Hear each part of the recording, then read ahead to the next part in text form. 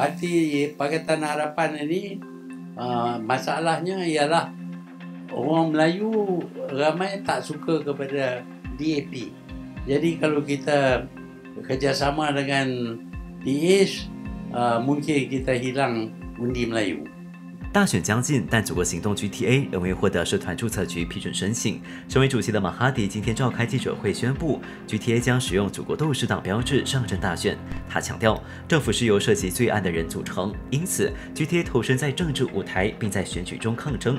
此外，敦马哈迪也谈到不和乌统合作的理由，并且提及西蒙西票的问题。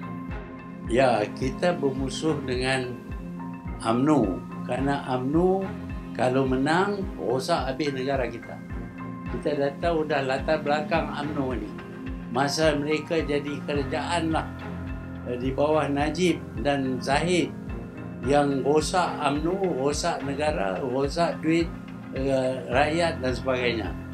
Parti Pakatan Harapan ini uh, masalahnya ialah orang Melayu ramai tak suka kepada DAP jadi kalau kita kerjasama dengan PH uh, mungkin kita hilang undi Melayu.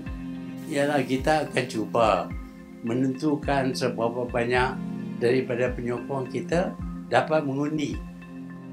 Tapi tentulah jadi masalah kerana kerajaan ini mempunyai jentera kerajaan untuk dimanipulasi oleh mereka.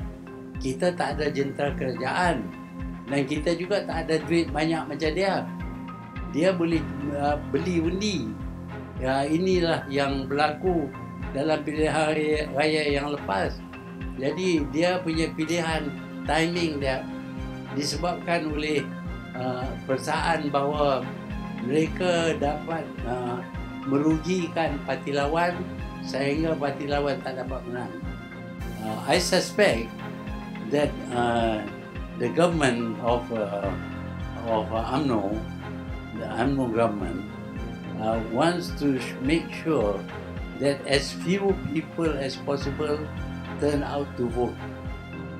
But they will have their own people paid and transported to vote.